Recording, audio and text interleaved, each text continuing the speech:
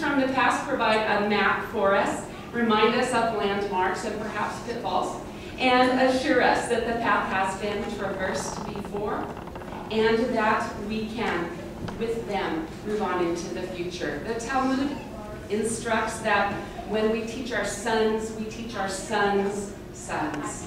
And we really do have a generational perspective. We're not just looking for our children or for our grandchildren, but we're looking for the next 500 years should the Lord tarry. And it's exciting to be a part of that. There's also a great obligation that we believe. We've received something, and now we need to turn and pass it on. And so at Coram Deo Academy, um, we're endeavoring to do that very thing.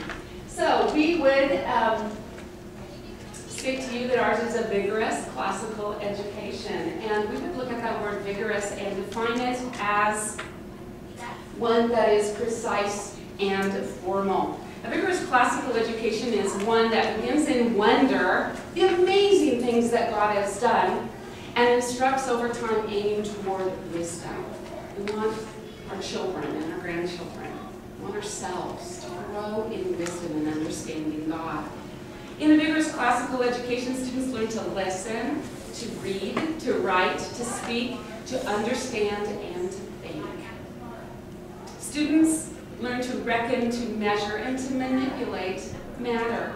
They learn quantity and motion in order to predict, to produce, and to exchange. And so as we look at the fact that a liberal arts education spans the whole life, as we work together, you and your children will learn what is meant by the soul, by the state, by God, beauty, truth, and goodness. So looking at that vigorous and defining it as precise and formal, we would remind you that this has been the tradition of the West. Chronological and ordered, not haphazard or piecemeal.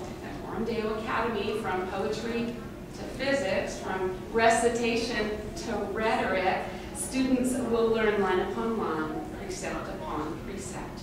Principles are taught, they're reinforced, and they're applied chronologically. Amazing what the mind can learn and begin to connect together. We would define classical as timeless and enduring. This is a methodology that has spanned 1,300 years. It's nothing new, it's nothing unusual. We become acquainted with the masterpieces of our tradition, and we learn to pass those on to our students. Um, just as um, those behind us who came before us learned and had their lessons in grammar, in logic, and in rhetoric. So the students at Coram Deo Academy. This is a methodology that has historical ballast. It worked, produced some of the brightest minds ever, and we're endeavoring uh, to do that again. It's no easier nor harder than ever before. It's always been a challenge, and yet there is this weight and this responsibility and obligation to instill into our children the rich, rich heritage that's been given to us. Jefferson bemoaned the fact that after the Revolutionary War, kids just didn't read good books anymore. How funny is that? Because we might say that very same thing today. Oh, why don't you read the good books anymore? A wonderful, wonderful legacy to take advantage of. And it will move through a specific number of tools that have been taught forever. Eratosthenes and Blaise Pascal and Dorothy Sayers all had their lessons at the grammar level, at the logic level, at the rhetoric level, and so do our students.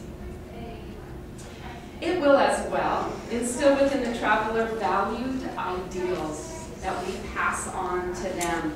Students will learn and be able to recall amazing stories of people from the past. Those of brave Dan Daniel and Jael, of wise Aristophanes, of handicapped Demosthenes. He stuttered. They said, you will never be a rhetor. And he said, I will. And he went down to the seashore and he picked up round smooth pebbles and he put them in his mouth and he paced back and forth and back and forth, practicing his lessons in rhetoric. And he overcame his stuttering. Now, I'm not advising that you do that or your children do that, but how amazing and what a wonderful story of having a problem and overcoming it.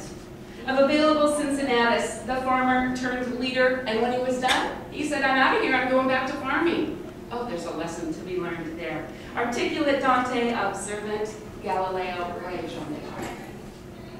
Creative J.R.R. Tolkien, perceptive T.S. Eliot, all men and women, responsible and doing amazing things in their lifetimes. These ideals guide the liberal arts student who's worked hard, cooperated with the process, and grown to love God as a source of all truth. This prepares students for challenges of tomorrow rich and rewarding. That is how we would define curriculum. It's not just books, although we love books. It's everything that encompasses an education. It's sitting with us on our campus two to three days a week and in your homes with you two days a week. It's learning. It's going to museums. It's everything from around the debate table right out onto the soccer pitch. That's curriculum. That's all of the life of the learner.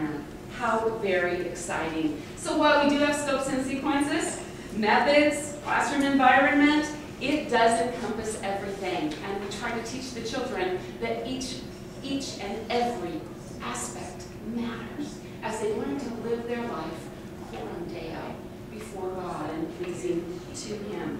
So our goal, well, it's not the exhaustive learning of everything, because you have a whole lifetime to do that. But it's learning how to learn, and it is connecting with students, with parents, with educators from centuries past and looking forward to the future. At Coram Deo Academy, we endeavor to prepare learners for life. I think it's important uh, to remember that Epictetus, the Greek philosopher, said, be careful to leave your sons well instructed rather than rich.